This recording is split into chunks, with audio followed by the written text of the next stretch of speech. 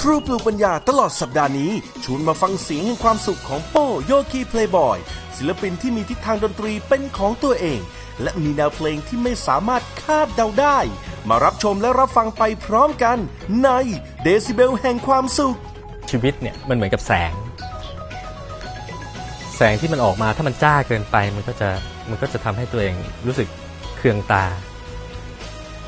แต่แสงที่มันมันมันนวลนวลมันมีความสุข พี่มิกกี้และพี่อาร์มเอาของพวกนี้มาทำอะไรกันเนี่ย ทั้งตัวอย่างปอดกับตับ พริก บาร์บีคิว แล้วยังมีอะไรก็ไม่รู้ที่อยู่ในซองรูปมนุษย์อวกาศอีก มาช่วยน้องอินซีหาคำตอบไปด้วยกัน ในเมกะมายด์คิดการใหญ่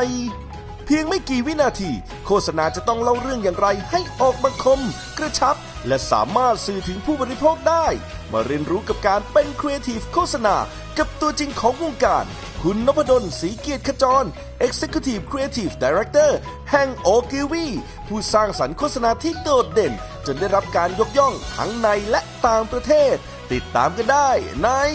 I am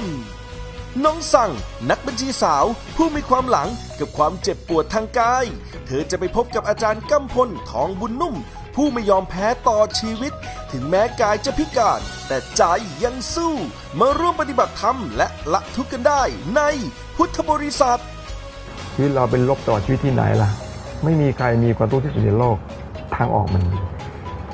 พี่จุยจุยส์จะพาไปบุกถึง Minimal Records ค่ายเพลงน้องใหม่ ที่ผลิตสาวดนตรีสไตล์ Made in เชียงใหม่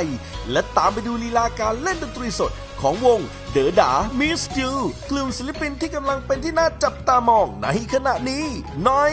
โสตศึกษา School of Music